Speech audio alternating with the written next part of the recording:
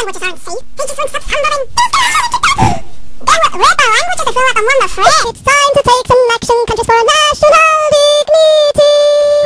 Hungary, Poland, Bosnia, Croatia, Sweden. It seems like none of the languages are there. Kind of and I have the fun of idiots. And there's something truly terrible inside. Like at nights when this movie. Like a tongue say just up ahead. Hear them scream to the dark, but we're not coming home to the bed. Put them there. Kill them both. Oh, I won't let you do this. You're just to human. Suspend them.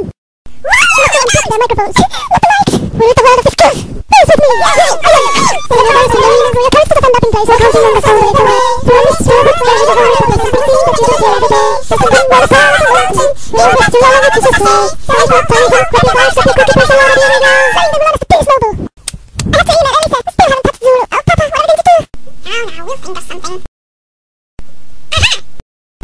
You going to